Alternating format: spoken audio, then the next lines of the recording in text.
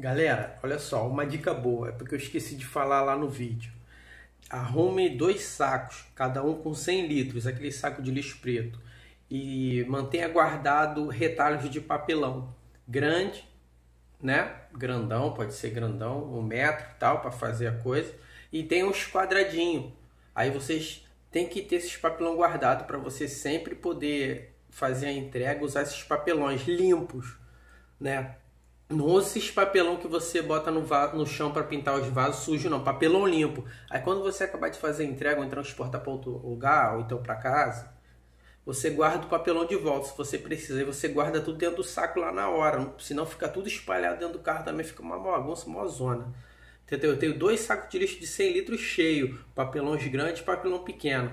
É isso aí. Papelão prensadinho, pô, não quebra os vasos não, porque esses vasos de cimento, a boca é muito sensível, entendeu? Então, fica aí com o vídeo aí, galera. É isso aí.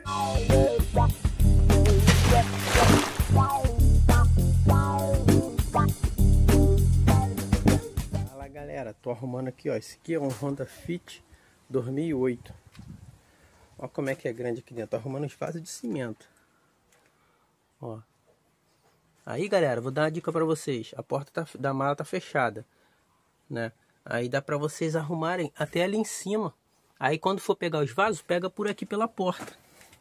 Entendeu? Você abre a porta e pega, ó. Tô arrumando, ó. Os vasos de cimento tem que ficar tudo arrumadinho para não quebrar na viagem. Lá tem uma espuma. Aí.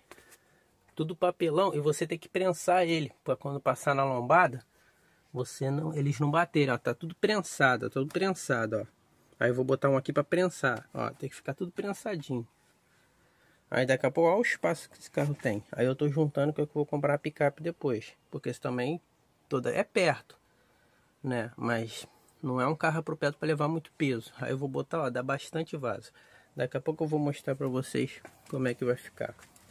Terminei a arrumação, vou mostrar para você como que ficou. O carro nem fica muito baixo, galera. Mesmo assim ele continua alto.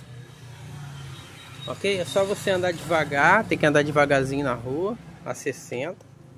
Aí, ó. Vou mostrar aqui pra vocês como é que ficou a arrumação. Hoje eu não botei muito vaso não.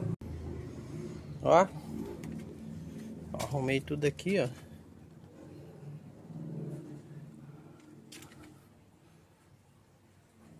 Tá vendo? Botei um dentro do outro, ó. Botei um pequeno, um médio dentro desse grande, botei o pequeno dentro do médio. Tem três vasos aqui. A mala ali atrás, ó, ainda tem espaço aberto. Aí se vocês quiserem botar o vaso por cima do outro, você vem, ó, pega um colchão e bota por cima. É porque tem que arrumar legal para botar, entendeu? Aí vocês botam outra camada de vaso aqui, pode até encostar lá no vidro, só que tem que botar com papelão e não pode abrir o vidro de trás pode comprar aquelas borrachas de EVA, entendeu? Ali tem um saco transparente cheio de travesseiro velho, que eu botei, entendeu? Ali não tá arrumado para botar o colchão por cima, porque tem que abaixar aquelas abas de papelão. Aí você bota o colchão por cima e vai botando mais vaso por cima, entendeu? Aí fica uma arrumação, uma arrumação boa, mas tem que ficar de olho aqui no carro. Quando ele abaixar um pouquinho mais, né? Você para de botar, você também não pode botar muito também. Você vai controlando. Você vê que dá para ir, tudo bem. Não vai botar o carro arriadão, né? Tem, e tem que controlar o lado do peso também. Entendeu? Você controla o peso. Ó, botei uns vasos lá, botei aqui. Aí aqui atrás eu botei para cá. Tenta controlar, não deixa só o pesão do lado de lá não. Controla, que aí, pô, vai ficar show de bola. E vai devagarzinho na rua.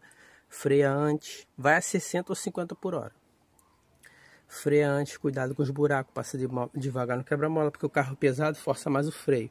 Então eu vou daqui até lá 50, 40, o trânsito daqui de Campo Grande não é muito coisa, não é rápido essa merda. Aí quando chega ali na estrada da ilha que vai um pouquinho mais, não é antes, né?